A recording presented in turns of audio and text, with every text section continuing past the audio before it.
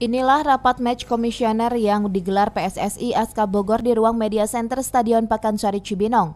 Rapat yang dihadiri puluhan wasit ini berkaitan dengan tata kelola dan etika. Askap sengaja mengadakan rapat karena kecewa dengan tata kelola organisasi. Bahkan Ekskok Askap PSSI Bogor Mustakim dalam pemaparannya mengaku sangat kecewa dan dengan sangat tegas menyebut tata kelola khususnya etika harus dibenahi.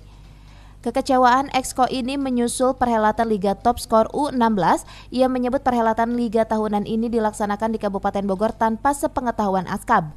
Padahal setiap pertandingan sepak bola berskala besar harus diketahui wadah organisasi sepak bola.